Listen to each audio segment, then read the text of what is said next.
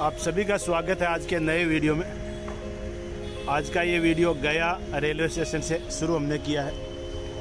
और इस वीडियो में हम देखेंगे, गया से पटना तक की ट्रेवल ट्रेन द्वारा ट्रेन की जर्नी तो ये गया रेलवे स्टेशन के बाहर का व्यू है और इधर टिकट काउंटर है। पहले टिकट ले लेते हैं, उसके बाद हम पटना की जर्नी शुरू करते हैं। और ये यहाँ का मेन इंट्रेंस गेट निकलने का और अंदर आने का रेलवे स्टेशन के और ये रेलवे स्टेशन के बाहर का सामने का भी और ये हमारा झंडा ऊँचा रहे सदा। और ये गया का रेलवे स्टेशन और ये महात्मा बुद्ध की नगरी है गया। बोध गया यहाँ से नज़दीक ही है, जो एक बौद्ध धर्म को मानने वालों के लिए धार्मिक स्थान, जो नदी के किनारे पे यहाँ से तकरीबन 20-25 किलोमीटर की दूरी पे है। तो आइए पहले टिकट ले लेते हैं और फिर ये जर्नी शुरू करते हैं। बने रहें पूरे वीडियो में और मेरे साथ इस पूरे ट्रिप को एंजॉय करें। और ये टिकट काउंटर हैं यहाँ पर। बहुत सारे हैं, लेकिन भीड़ काफ़ी है। और मशीन जो लगी हुई है, ये इधर मशीन भी लगी हुई है, लेकिन मशीन पे कोई अभी काम नहीं कर रहा है। लेकिन हमने टिकट ले ली है, गया से पटना की ये हमारी टिकट, जो हमें पचास की मिली है, पचास रुपये की, गया से पटना की टिकट। और ये टिकट काउंटर के बाहर का व्यू है, ये झंडा हमारा। और ये पूरा यहाँ का व्यू। तो इस ब्रिज से हम जाएँगे। चार नंबर प्लेटफॉर्म पे हमारी ट्रेन है और 10 बजे की है। तभी 10 मिनट और रह गया। तो आइए, प्लेटफॉर्म नंबर चार पे चलते हैं। और आज इस सफ़र में हम गया से पटना तक का ट्रेन का सफ़र करेंगे। बने रहे पूरे वीडियो में। ये चार नंबर को जाने वाला रेप। और ये चारों तरफ़ ब्रिज बने हुए हैं यहाँ पर। इस ब्रिज से चल के हम आए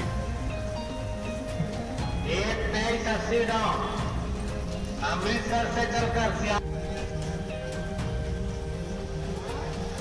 और ये चार नंबर प्लेटफॉर्म। और ये हमारी गाड़ी।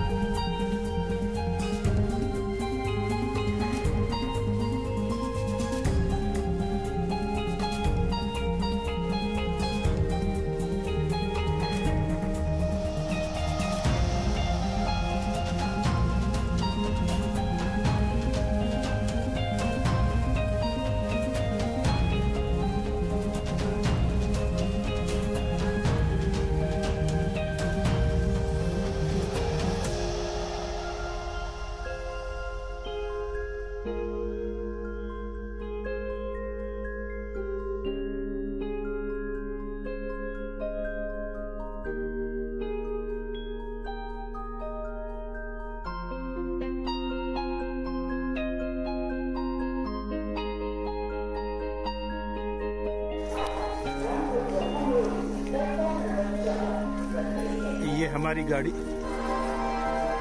जो हमें लेके आई, गया से पटना तक। लोकल गाड़ी थी और तीन घंटे का टाइम इसमें हमें लगा। ये पटना जंक्शन का। और ये प्लेटफॉर्म नंबर एक पर हम आ गए हैं। ये पटना जंक्शन। का प्लेटफॉर्म नंबर एक। तो ये हमने यात्रा आज की लोकल ट्रेन से की थी, जैसे मैंने आपको पहले बताया। काफ़ी टाइम लगा इसमें। तो इस वीडियो को यहीं तक रखते हैं। बहुत बहुत धन्यवाद, आपने पूरा वीडियो देखा इसके लिए। अगले वीडियो में फिर आपसे मिलेंगे। तब तक आप अपना और अपनों का ध्यान रखें। जय हिंद, जय भारत।